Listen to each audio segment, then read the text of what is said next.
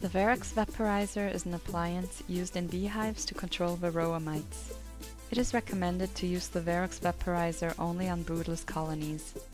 In the natural cycle of a bee colony in Middle Europe, the broodless period lasts from November to December. Oxalic acid has a level action only on phoretic mites, meaning that those sitting on bees are harmed, but not those sitting in the sealed brood. Outside temperature during the treatment should be higher than 4 degrees centigrade. Before starting treatment, arrange the necessary material.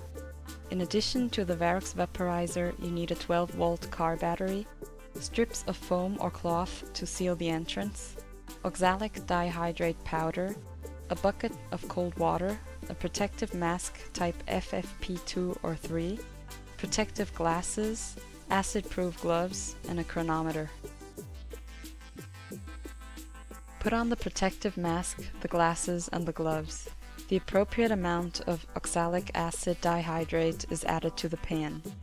Dosage depends on hive type. One-chamber hives or Swiss hives are treated with 1 gram oxalic acid. Dadant hives or two-chamber hives are treated with 2 grams oxalic acid. Insert the appliance into the entrance of the hive, minimal height 14 millimeters, under the cluster of bees and seal the whole entrance around the handle.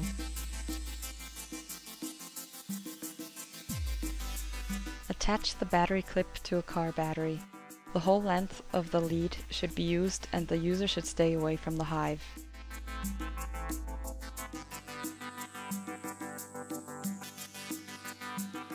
After two and a half minutes, switch off the appliance and wait for two minutes before the appliance is pulled out so that the oxalic acid vapor can settle down. Once removed, ensure that the entrance of the hive is shut tightly again and left shut for another 10 minutes.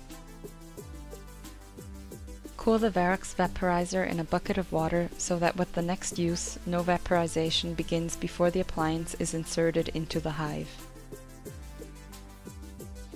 The mite fall due to the treatment maintains for about 3 weeks depending on the weather. If there is a mite fall of more than 1000 varroa mites caused by the treatment, a second treatment is recommended.